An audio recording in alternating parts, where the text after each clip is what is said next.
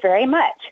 Welcome to the fourth nurse webinar of 2018, Nursing Solutions, Music as a Therapeutic Modality in Parkinson's Disease. These nurse webinar series showcase the work of our nurse scholars who completed the Edmund J. Safra Visiting Nurse Faculty Program at the Parkinson's Foundation. Today's webinar features Deborah St. Anthony, nursing faculty at Normandale College in Bloomington, Minnesota, and Diana Neal, associate professor of St. Olaf's College in Northfield, Minnesota. I'll tell you more about our speakers in just a minute. Before we start the webinar, I'd like to touch on a few housekeeping items. The PowerPoint slide deck can be downloaded from the reminder email you received this morning or from the Parkinson's Foundation webpage, which is www.parkinson.org, or on the page you're looking at to the left. Health professionals can earn one free CEU through the American Society on Aging. Participants will receive an email after today's webinar with steps on how to collect the one CEU. You have just 30 days when the CEU is available, which is until January 4th, 2019. However, all of the webinars are archived and can be viewed at any time. Please note that questions can be submitted during the presentation by clicking in the text messaging box in the bottom left corner, type your question, and then hit send.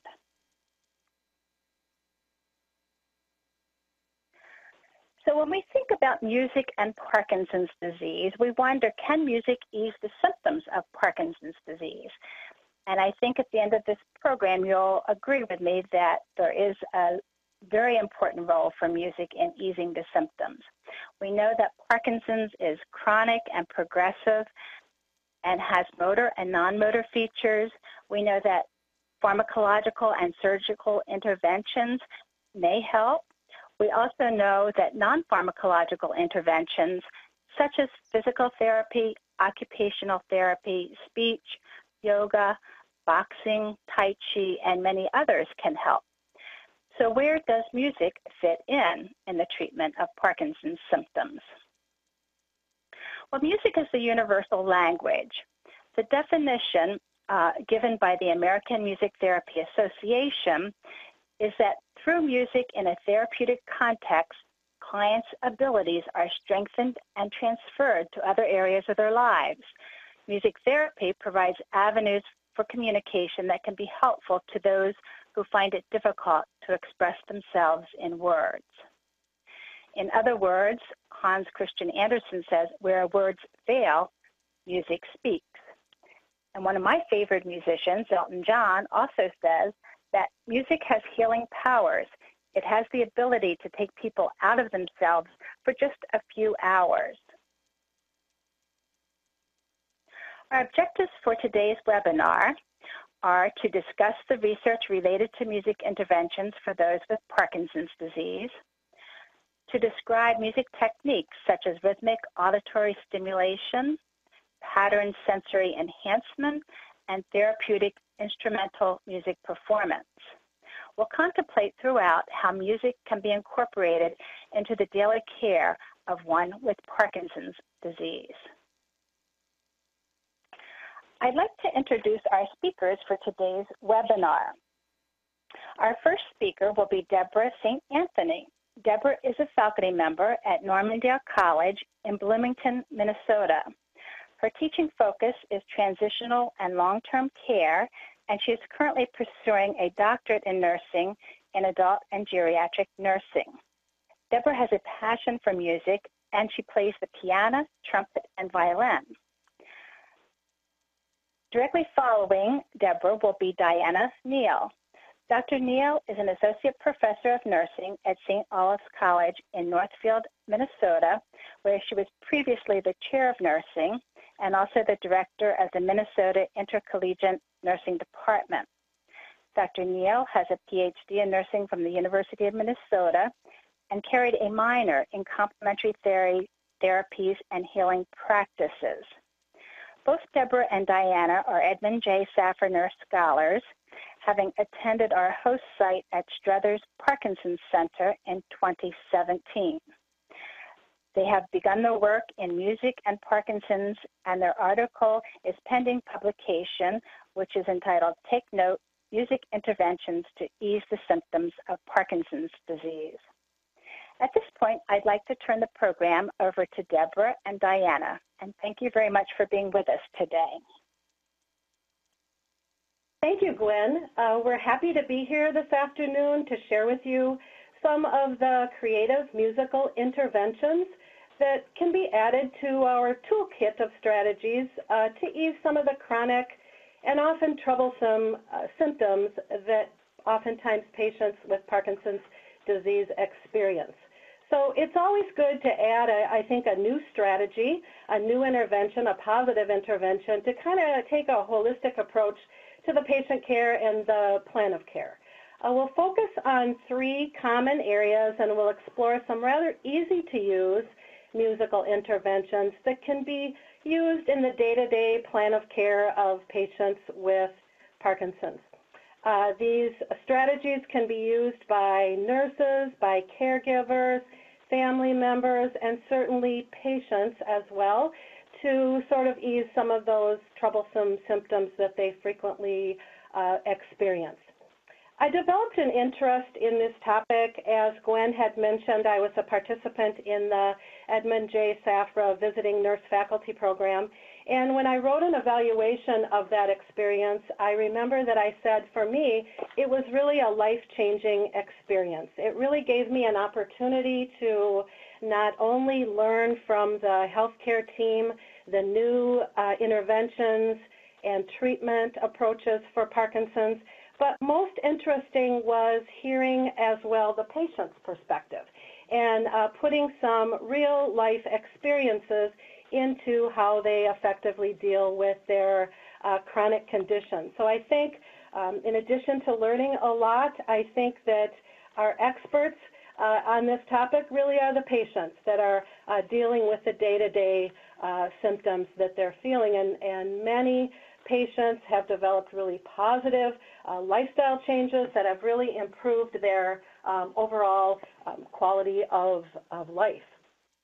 So that's how I developed my interest. In addition to that program, at the same time, I am a clinical nursing faculty instructor at Normandale, and the clinical site that we were using at that time is a long-term care facility that had a number of acute care beds as well, and uh, frequently it was a referral center for patients that were at various stages of Parkinson's. So one particular day as I was working with students, I assigned this patient, uh, a 68-year-old retired airline pilot. He was admitted to long-term care to the facility about six months ago. He was diagnosed with Parkinson's disease about 10 years prior to that time. So he was a little bit younger than I, uh, what you would expect your average patient with a diagnosis of Parkinson's uh, disease to be, uh, about 58 at the time of diagnosis. He had a wife of about 30 years. He had two adult daughters, and he was experiencing uh, an increase in motor symptoms. He was uh, developing rigidity, kind of a loss of balance, and this was really affecting his ability to safely be independent at home, and he was experiencing some falls.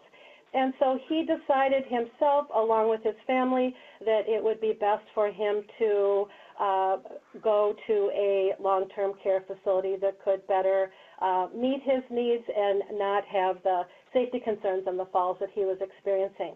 So that particular morning in nursing report, we were told that he was experiencing some falls and to really watch him closely and he had received a new walker and his meds were adjusted and that we should just keep a really good eye on him that day.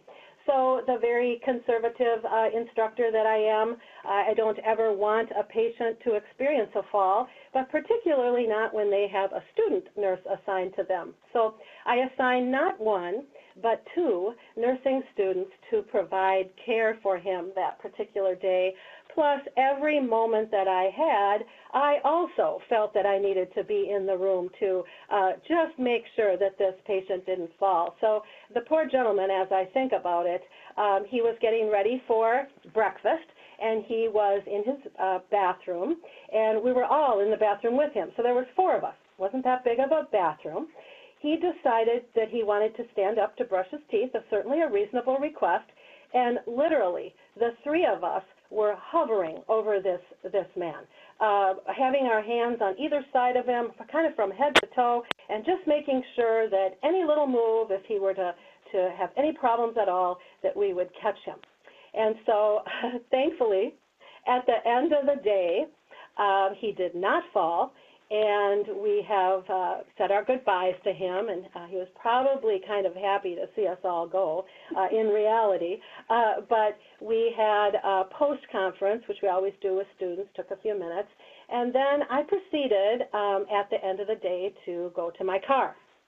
And as I sat there watching, this facility is in uh, kind of a uh, neighborhood of houses and uh, has a long um, sidewalk that was right in front of me and a, a park area.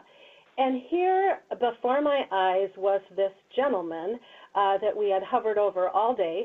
Uh, his wheelchair, transfer belt, and walker were sitting at the end of the block, and he was jogging uh, with the physical therapist. He, the physical therapist didn't have one hand on him. His gait was steady. His balance was good. He was going at a good pace. I'm not sure if I could have kept up with him. He um, ran the length of a, of a city block, and then he stopped for a moment with the therapist. The therapist took his arm.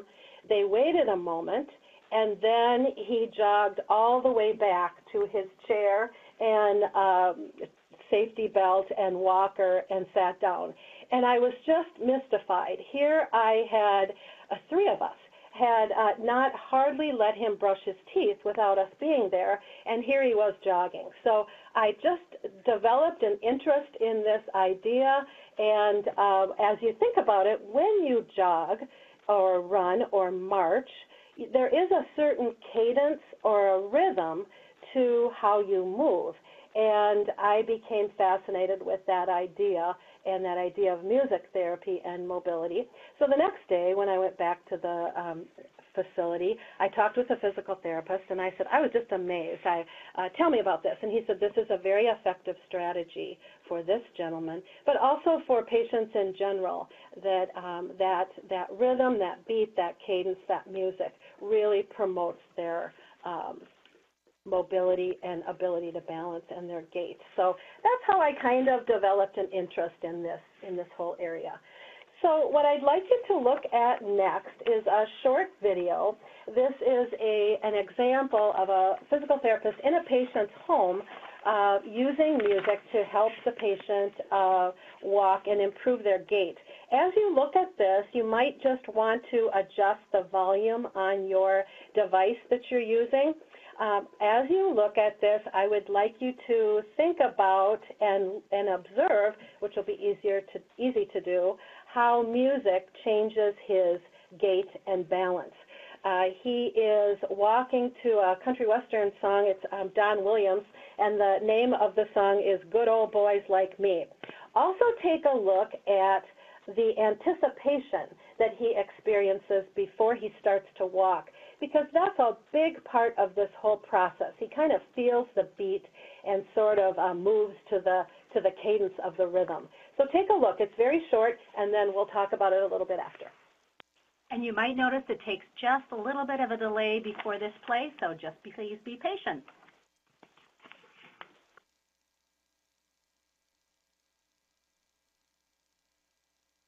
to kind of post a video letting everybody know about this cool little study I came across. Um, it's actually been out for quite a while, but I didn't know about it, so I wanted to, you know, let other therapists know. I've had great results with this guy. Um, we're going to demonstrate walking with no music first, just to kind of show the gait pattern. He's got Parkinson's, and so usually, you know, he's got the typical kind of shuffling gait pattern and difficulty with um, smooth gait cadence. Then I'll show a video with the music, and you'll see the difference.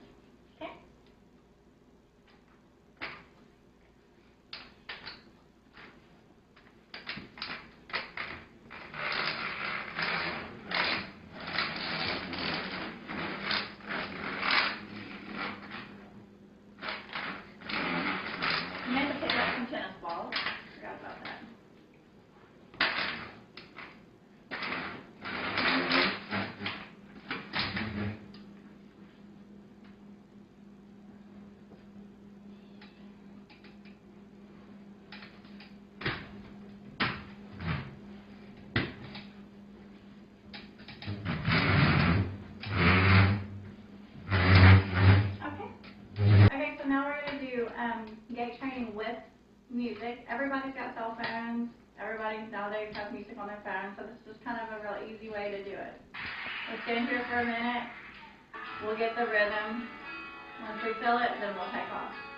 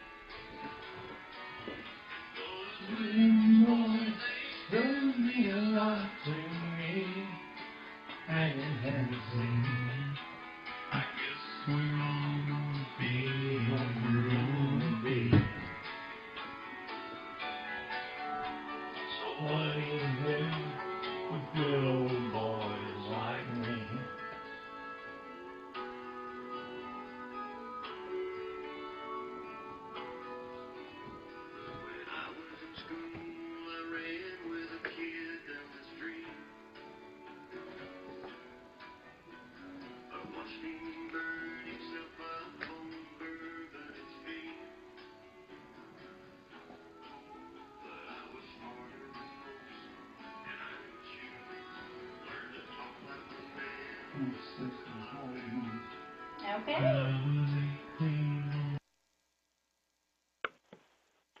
What did you think? Very dramatic change from scraping and dragging that walker to actually dancing uh, with the therapist. So music and the brain uh, is very interesting connections that occur as we process music and certainly impacts our behavior in a variety of different areas. Music, whether playing an instrument or singing, using the instrument of one's voice, involves a very integrative process of the auditory and sensory, sens excuse me, auditory, sensory, motor, and many other regions of the brain. If you look at the auditory cortex, this helps us as we listen to sounds, as we perceive and analyze tones. The sensory cortex controls tactile feedback while we're playing an instrument or dancing. The visual cortex involves reading music or looking at our own dance moves. Uh, the motor cortex is involved in movement while we're dancing or playing an instrument. And then the amygdala is also interesting, which involves many of the emotional reactions to music. So this process really leads to a strong correlation between perception and action. Um, additionally, listening to music can really link perception and cognitive function. It helps with attention, memory, executive function, as well as emotional well-being. So this unique interaction uh, occurs primarily between the auditory and the motor systems of the brain, as you can see visualized here. The auditory system is actually much faster and it's more precise than the visual and tactile systems. So it sort of primes, if you will, the motor systems into a state of readiness before we get ready to move. This priming really increases not only the quality, but also the timing of the motor response. So the steps become uh, more balanced and they also become longer. Talked about anticipation. Did you see that gentleman in the movie or in the video? He sort of took a moment to kind of think about and sort of get the rhythm. That's really a critical element in improving movement quality. Rhythm provides that anticipatory time cue for the brain to kind of plan and get ready before the person actually starts to move. So music affects different parts of the brain. When we listen to music, the right side of the brain is primed and activated, and this involves emotions and feelings. Then the left side of the brain will analyze what we've just heard and um, help us with skills such as language and logic. So I think we've all had that experience where you hear a song and it instantly brings you back to a specific moment in time. Thaut, one of the researchers who did a lot of studies on music and how it impacts the brain, uh, used the statement of oftentimes couples say, honey, they're playing our song. And just hearing that song can instantly take you back to a specific moment in time and a, and a, and a memory in time. And this certainly helps. We'll talk about how this helps with um, confusion and dementia.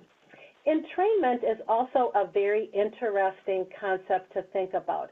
This is defined as a temporary locking process in which one system's motion or signal frequency synchronizes the frequency of another system. This was actually discovered in the 1960s by a Dutch physicist name was Christian Huygens, when he noted that the pendulum frequencies of two clocks mounted on the same wall or board became synchronized to each other. In entrainment, the different amounts of energy that are transferred between the moving bodies um, actually cause a negative feedback loop. And slowly over time, uh, the faster frequency adjusts to the slower frequency, and this concept can be directly applied uh, to the connectivity that occurs between those auditory areas and the motor areas of the brain that um, cause this locking mechanism to occur. Another interesting idea is this uh, idea of neuroplasticity, and that's the ability of the brain to reorganize itself, both in structure and how it functions. And when I was in school years ago, we were taught that once those neurons were damaged, there was no, no regeneration, no return. And so this is very interesting in um, through the use of a variety of techniques, including music. Neuroplasticity is the ability of the brain to create new neural pathways or new roadways, if you take a look at the diagram on, diagrams on the bottom, sort of retraining and rewiring, if you will, the pathways that bypass those dysfunctional brain regions that often occur, are very common in many neurological um, conditions. So thinking back, we're going to try to focus on three primary areas of symptoms that are common in Parkinson's patients and uh, try to apply some musical interventions. When you think about motor symptoms, I've talked about this a little bit, um, the gait, these gait characteristics are oftentimes the most common cause of decreasing a person's functional abilities. And frequently this limits independence and really causes a person to be at great risk for falls and is one of the primary reasons that a person has to be institutionalized. And so um, that becomes a significant factor in a person's quality of life. The second area that we're going to talk about is communication and speech and swallowing issues. And we know that about 80% of Parkinson's disease patients have um, changes in their voice and speech. Decrease in the loudness, they have a real breathy tone to their speech, and pitch and loudness also decreases. This makes communication difficult. Uh, they also have kind of that classic um, masked face appearance and that's caused by a decrease in dopamine, which requires, uh, which helps the muscles. When we smile, did you know that we use about 12 different muscles? And when you frown, you lose about you use about 11 different muscles. And so oftentimes family members really feel that their uh, significant other isn't ex, isn't isn't expressing emotions when in fact they're not truly able to. So we'll talk a little bit about that and the fact that those same muscles that you use for smiling and frowning are also involved in eating and swallowing, and so aspiration becomes a, um, a concern. So we'll talk about some strategies, and um, singing is a, one very effective one. And the last area that we'll talk about is cognitive anxiety and depression problems, uh, and we'll discuss ways that music will, will help with um, some of those functions. Parkinson's disease, as Gwen had uh, defined, is a chronic progressive uh, disorder that occurs. And one of the challenges with treatments is oftentimes medications reach a point where the same dose does not provide the same effect. And we, we call this an on-off phenomenon, where the same routine uh, all of a sudden doesn't provide the effectiveness in many different areas of function that it used to. So if you can see in this diagram a normal neuron and the production of dopamine and how that promotes nice, smooth, steady movements. If you don't have that production of dopamine, that's why Parkinson's patients oftentimes have these quick, jerky movements because nerve cells fire kind of out of control, leaving the patient unable to control and um, direct those movements. So with that, I'm going to turn this over to Diana, and she's going to talk about some specific strategies. Okay, this is Diana Neal, and I will be describing uh, music interventions to help ease some of the challenges of Parkinson's disease that Debbie discussed. Before I do that, there are three music techniques described by Dr. Michael Thaut, professor of music and neuroscience at the University of Toronto, which are specifically used to improve sensory motor function. The first music technique, rhythmic auditory stimulation, or RAS, uses cues with a rhythm such as a metronome or strongly accentuated beat to facilitate movement like walking. The research comes from that this comes from is uh, a study by Grahn, which uses functional magnetic resonance imaging um, to show that those with Parkinson's disease do not experience the same internal generation of a beat as those without PD and need externally cued beats to maintain that connectivity between the basal ganglia and cortical motor areas of the brain involved at the coordination of movement. An example of RAS comes from Debbie's story about the 68-year-old airline uh, retired airline pilot with PD who experienced several falls in a long-term care facility. Debbie said that she assigned two students to care for this patient because she was concerned for his safety, and they hovered over him the entire shift. At the end of the day, Debbie saw the same man jogging and walking steadily without his walker. The video clip that Debbie played should sh um, explain or show how this could occur. The second sensory motor music technique is pattern sensory. Oh yeah, excuse me. I'm actually going to play a little um, piece of music that shows um, this this rhythmic um, marching. marching.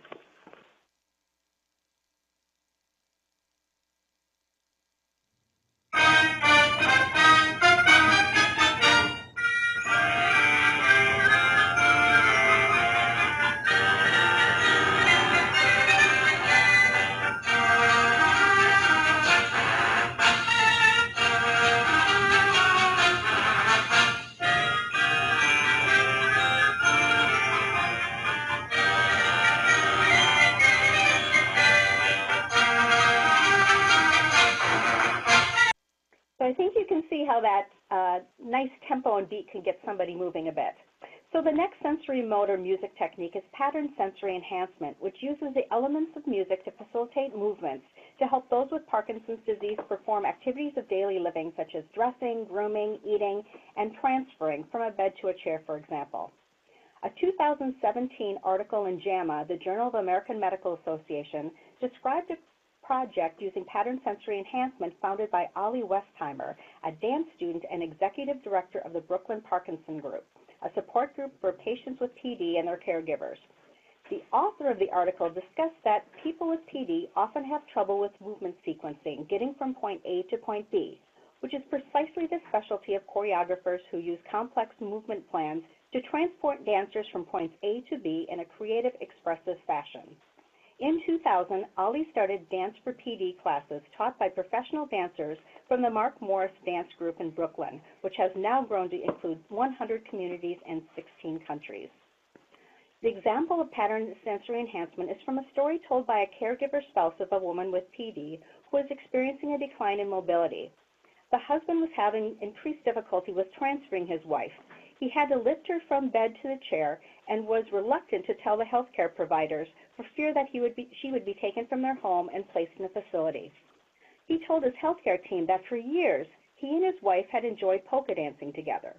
One day, polka dance polka music was playing on the radio, and his wife stood up and they began dancing. Through work with therapists, dancing became a strategy to improve mobility, transfers, and help to maintain their at-home living situation. Here's some music.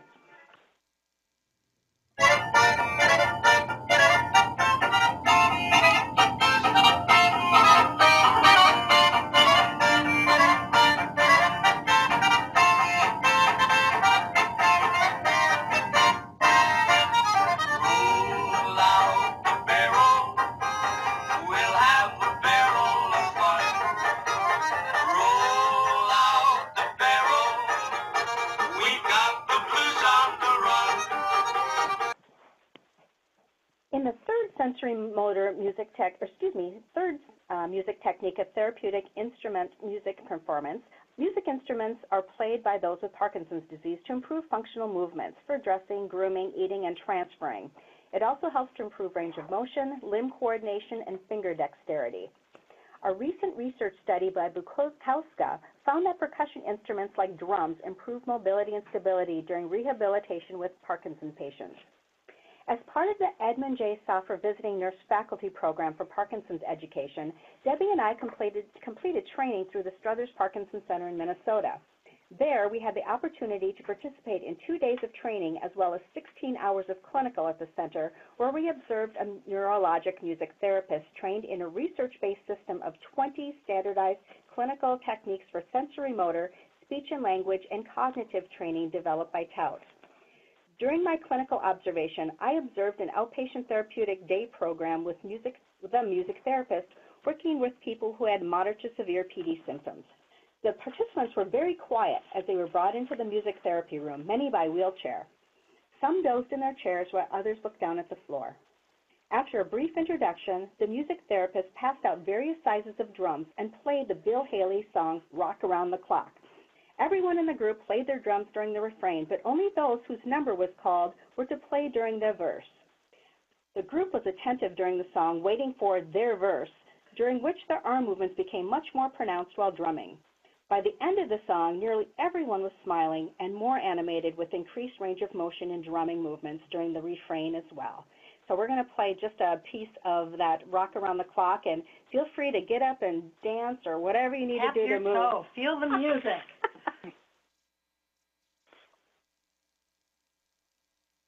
One, two, three o'clock, four o'clock, rock.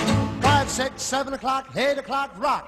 Nine, ten, eleven o'clock, twelve o'clock, rock. We're gonna rock around the clock tonight. Put your glad rags on.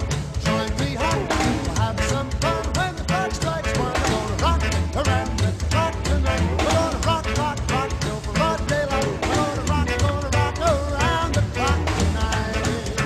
So those are the three music techniques used to improve sensory motor function. We're now going to look more specifically at how music can ease, ease sensory motor challenges as well as the other challenge areas in Parkinson's disease that Debbie discussed, including speech, language, and swallowing, cognition, and psychosocial and emotional well-being. Debbie and I develop music care plans for symptoms within each of these major areas. For each symptom, we describe the specific challenges for those with PD, the type of music interventions recommended for use with each challenge, and the expected outcome for how music may help to ease the particular symptoms of PD. For motor challenges, as uh, we just discussed the, three techniques, moving or dancing to music may help to reduce shaking and tremors. A metronome, tapping, or drumming may help initiate movement and improve the flow of walking, increase the length and speed of strides, and reduce episodes of freezing and falls. Movement to music or dancing may help to initiate movement of the arms and hands as well as assisting with reaching, grasping, lifting, and transferring as it did with the husband and wife while dancing to polka music. Playing musical instruments may also help to improve range of motion, coordination, and finger dexterity. Moving limbs with music or dancing to music may reduce stiffness and rigidity of arms and legs, increasing range of motion, improving flexibility, and strengthening muscles used for activities of daily living. And a metronome tapping, drumming, or dancing to music with a strong beat may also help to strengthen posture and improve balance. For speech, language, and swallowing challenges, singing may increase vocal intensity, control, and posture during strengthening muscles in the diaphragm, abdomen, and back, especially when using strong inhalations and long exhalations. This is really important for um, those who have difficulty with soft speech and uh, to make sure that they're understood and may be able to communicate. Singing songs where words are repeated over and over again can help with remembering words and subject matter. Singing may also improve swallowing and prevent aspiration by strengthening the same muscles used for speaking um, that Debbie just discussed.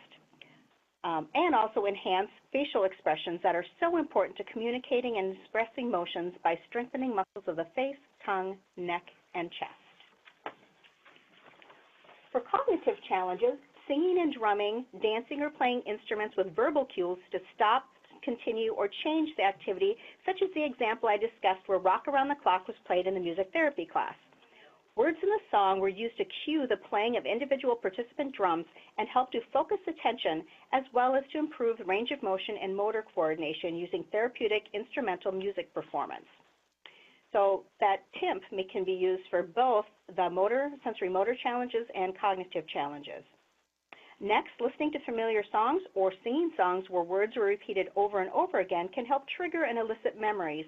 And singing simple songs with made up lyrics that include a specific plan, decision, or instructions that a person wants to remember can help ju with juggling multiple tasks.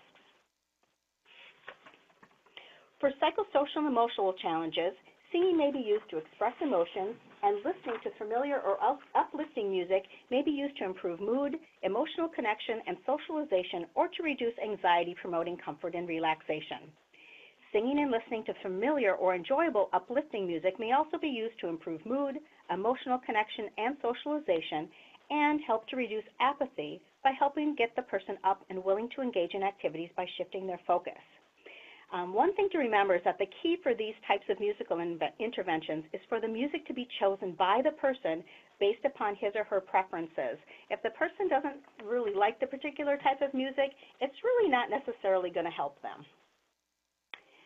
So, as you might have figured out, these different examples of music interventions um, through these different examples of music interventions, music may be applied to a variety of other conditions for those facing challenges with mobility, speech, cognition, and psychosocial well-being.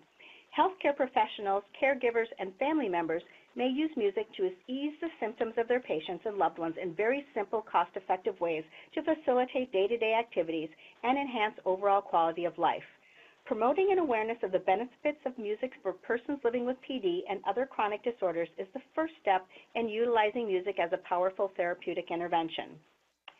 So Debbie and I would now like to share one last video clip showing Naomi Feil, a social worker and founder of validation therapy, during a breakthrough moment of communication with Gladys Wilson, a nonverbal patient with Alzheimer's disease. Gladys is shown rocking and striking the armchair in repetitive movements when Naomi, the therapist, begins singing a children's hymn to the beat of Gladys's tapping. Soon, Gladys is tapping in synchrony to Naomi's singing. Then Gladys opens her eyes, pulls Naomi to her, and starts singing along. So this, again, um, please turn up your the sound on your computers and um, just be patient. It might take just a couple of, um, of seconds for this to load.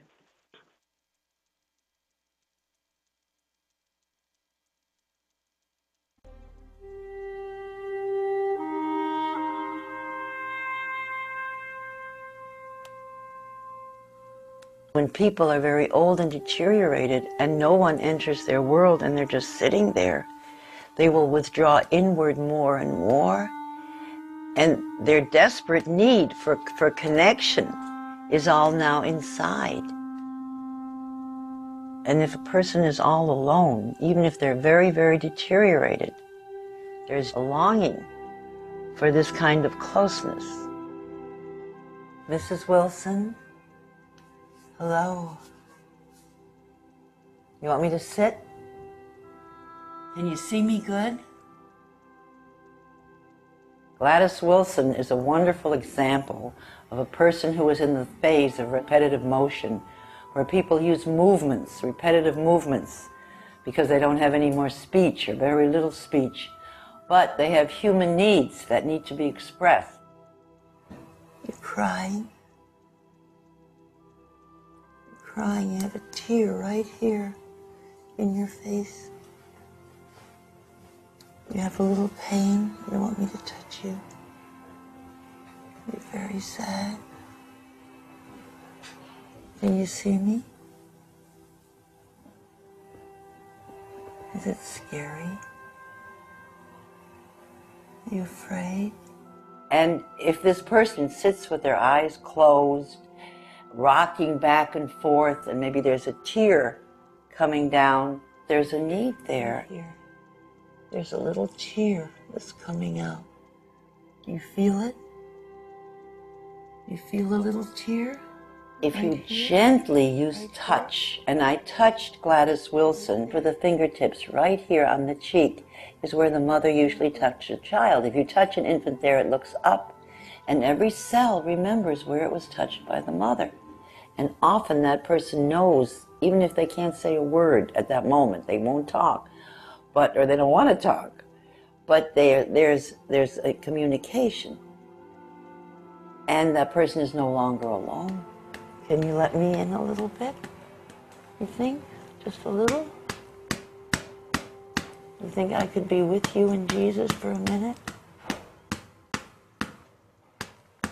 Jesus loves me, this I know, for the Bible tells me so. I used music because when speech is gone, music, especially with Gladys Wilson, it was religious music because there's emotion tied to it and safety tied to it.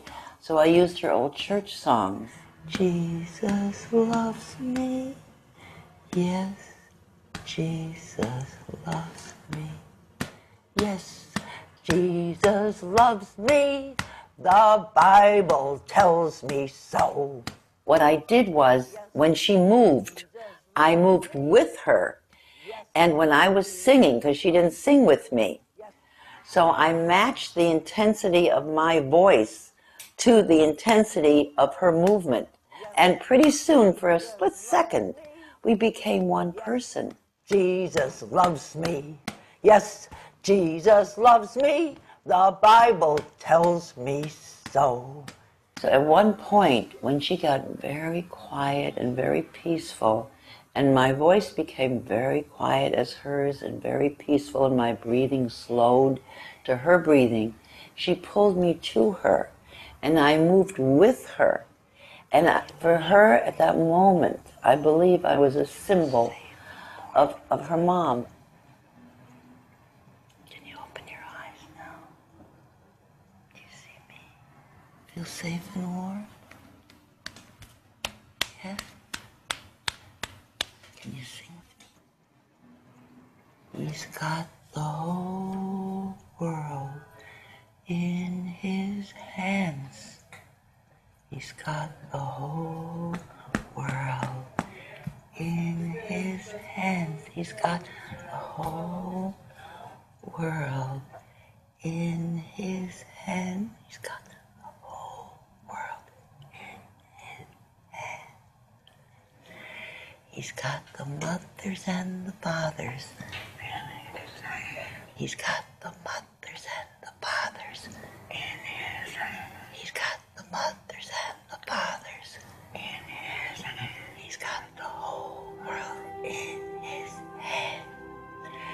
The breakthrough doesn't happen every time. The person will not always look their open their eyes and look at you. But if you keep trying and you send, keep centering yourself and uh, really look at that person and really mirror their movements. Maybe not this time, but the next time you come, you'll have a communication.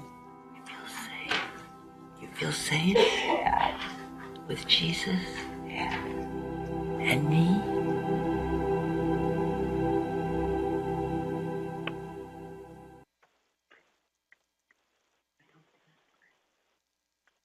Okay. So thank you so much for listening to our presentation. I think it's going to be, everything's going to be turned over to Gwen again. Thank you very much, Deborah and Diana. you really shared a ton of valuable information with us, and I think many of us listening have really begun to think about how we have underutilized music in our practices um, and really can now see the very um, p- potential of it in working with our Parkinson's disease patients. Uh, in fact, one of our listeners wrote in uh, that she is a support group leader and also the wife of someone with Parkinson's disease. And she can't wait to try some of these techniques with her support group, uh, especially with the holidays coming. There's a lot of good music that uh, people would love to hear, and she's anxious to see how it affects their mobility. So I think you've all gotten us, um, gotten us all rather, um, really thinking along these lines and, and how uh, accessible music is and how we can use it more to our benefit. So at this point, we're open to our question and answer period. Please note that questions can be submitted at any time by clicking in the text messaging box in the bottom left corner. Just type your question and then hit the send button. So we have a couple questions that have been coming in uh, throughout the course of your presentation. And I think in, uh, in light of your last video where the person had Alzheimer's disease, one of our listeners would like to know if we would expect the same results in MS and other neurologic conditions. Would you like to comment on that, please? You know, um, this is completely my opinion because I'm nurse, a nurse and not a music therapist. Um, but I would say, you know, why not give it a try? And, and you know, all you can do is try um, and, and see what, what seems to work. So this Naomi Feil is a, a social worker, as I said, and she just grew up in a nursing home um, environment because her father ran a nursing home and her mother was a social worker and um, she just noticed the challenges and tried some different things. Um, you know, it's not evidence-based practice, but um, you know, you never know what can work and what can reach certain people. Um, yeah. As I was uh, doing some research on the effects of music with uh, motor function, there were some generalizations made beyond uh, Parkinson's disease to other neurodegenerative conditions. I'm not sure if specifically MS would be one of those, but when you think about the effects of, of music on all different portions of the brain and that connection between hearing something and getting ready and preparing to move uh, and walk, uh, I think that there are some generalizations that can be made. We've got quite a few references where a lot of research has been done on music and mobility, and that some of those uh, resources did go beyond the uh, application of Parkinson's disease. So I would suggest that maybe you look at a few of those, but I would say, you know, those connections in the brain are, are pretty pretty unique, and that whole concept of entrainment and how one communicates with the other uh, might be uh, an effective strategy that could be used as part of an overall holistic plan. And another thing I'd recommend um, that's on our reading list or reference list is the 2008 book by Michael Thaut entitled Music, Rhythm, and the Brain, Scientific Foundations and Clinical Applications. Um, that book had many examples of how to apply neurologic music techniques in sensory motor, speech, language, and cognitive training for all different kinds of um, um, chronic uh, problems. He did not just focus on Parkinson's disease, so I, I would highly recommend checking that book out. Uh, it, it gave some very specific ideas and examples. That's, that's wonderful. That's very helpful. Thank you. Here's another question that has come in. Um, Aretha Franklin once said, music is trans It can take you right back. Thinking about this comment, do you think using music from any certain era is important when we consider imp- implementing music plans for those with Parkinson's disease? I, I believe you touched on this lightly when you said the person should like the music being played, but do you think it's era or likes, dislikes? Can you comment? I think that's very important, and a lot of research has been used on patients with dementia and the use of music, and oftentimes uh, men that went off to war and spouses were left behind, uh, and they were spent many years um, alone raising their families and, and children, and later on in life uh, developed uh, dementia and music from those wartime eras or music that that couple enjoyed together in earlier years oftentimes the playing of that music can bring that person right back to that specific moment and can kind of trigger or sort of jog their memory when conversations and words don't. So I do think it's important to consider uh, the time that they raised their families and those years when they were, did not have dementia that they developed later and think about interests that they had at that time and also likes and dislikes. You know we were uh, kind of talking among ourselves you know if if someone played rap music to me i don't really care for that and that might throw me into a depression. But i think certainly the person's likes and dislikes are are really important Great, thank you very much. Um, here's a question from our audience. Um, how does the concept of entrainment apply to how the brain connects music and motor function? Can you elaborate a little on that for us, please? Sure. Uh, just that idea of the clocks. I was so fascinated by that, by by that um, researcher who uh, just figured out that over time the clocks and the pendulum started to move together and how that whole process worked. So that connection between the auditory part of the brain and the motor part of the brain, uh, they work in synchrony. And one kind of um, helps the other, that, that idea of that asynchrony that occurs in a negative feedback loop, that all of a sudden one system, whether that's the auditory system or the uh, motor system, kind of slows down or speeds up, and they work together and actually uh, form a lock where they're actually uh, working together, just like the heart. If the upper and lower chambers of the heart beat in synchrony, a cardiac output is, is much better. So that idea of entrainment, the, the auditory system, which is faster, works quicker than the motor symptom, and it sort of primes that region. And that's why that anticipation phase, where you sort of feel the beat and the rhythm, um, is very effective in um, in uh, kind of demonstrating that that whole concept of entrainment. I was in marching band when I was in college, and uh, that marching rhythm. As I got to think about it, as I th- thought about that gentleman who was jogging, and I and I thought about uh, marching. Um, when I hear a march, I can't not tap my foot or start moving. And you know the brain works the same way. As you feel that rhythm and feel that beat, uh, it makes sense that you could take a bigger step and uh, have a better balance. So that idea of entrainment is how one system of the brain works with the other. And in particular, when we hear something, that's a much quicker process in our brain than when we um, see it or uh, that tactile part of the brain. So it's, it's a very interesting concept, and it's it's amazing uh, what the brain does and how that functions. We have to tap into some of those resources. Thank you. Thank you very much. Okay, one last question um, for both of our presenters. Um, there was a study recently in the uh, Journal of Alternative and Complementary Therapy um, by Franco and DeLuco, um, and they looked at the practices, knowledge, and attitudes, as well as beliefs um, of healthcare providers regarding music therapy as a cost-effective complementary therapy. The physicians in their study uh, were somewhat neutral and the nurses a bit more receptive.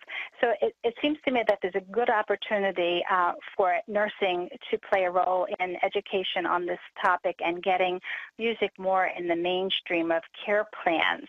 Uh, so, Deborah and Diana, how is, how is your work changing the way you work with your nursing students uh, to teach them and in your clinical practices?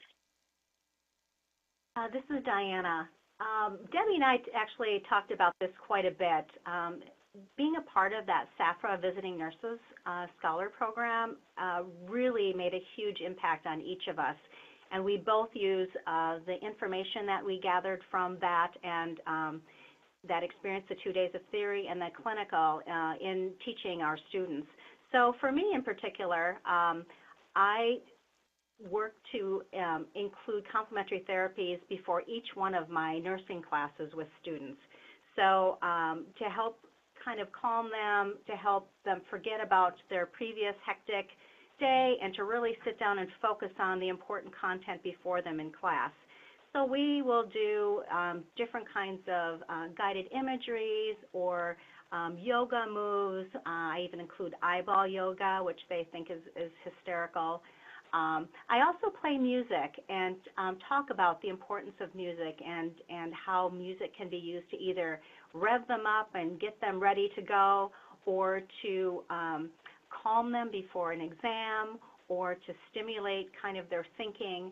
Um, so the students, by I, the difference I found is by incorporating some of these complementary therapies, students are much more willing to use these for themselves and then to use them for their patients um, than before when I just talked about them or taught them. You know, really having that experience themselves has made a big difference. And I think uh, just thinking about music myself, that, you know, I always thought of music as a very social, kind of cultural experience, a religious experience. There's always music that's involved in religion, and a very enjoyable social kind of an activity. But the information that we've read and looked at really has brought music from just a social, uh, fun, entertaining activity really to the mainstream of uh, therapeutic interventions.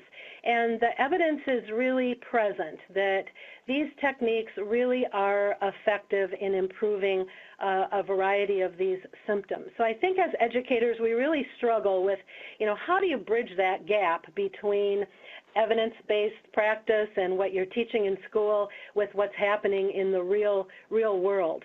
So we really, I really have incorporated um, the expertise of the of the patients that we experienced, uh, and also in our kind of day-to-day work of using some of the uh, complementary therapies, along with traditional uh, pharmacological and non-pharmacological interventions. But it just gives us one more tool, one more intervention to look at this person holistically and try to uh, try some new things that might be very effective for them. And build connections with our patients. And build well. connections, yep. yep.